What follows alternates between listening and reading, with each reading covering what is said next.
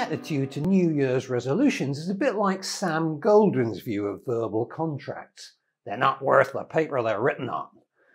Of course, most resolutions never even get written down in the first place, so it's no surprise they disappear into the ether by mid-January. But some things are worth writing down, and one of them is your wealth plan.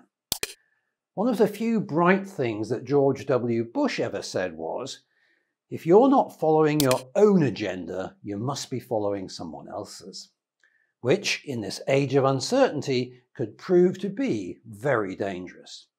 Do you really want your family's financial future to be at the beck and call of Boris Johnson or Joe Biden, the Bank of England or the Federal Reserve?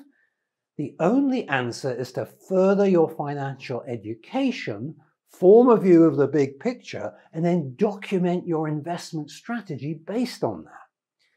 Is the booming stock market going to continue the longest bull market in history? Will we end up with negative interest rates? Are we heading for inflation or deflation? And do you have assets that will perform for you in either scenario?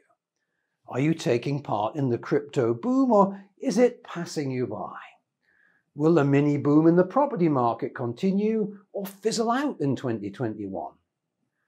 I will shortly be launching the Renegade Investor Revolution to help people address these issues, and you can join the priority waiting list at renegadeinvestoracademy.com.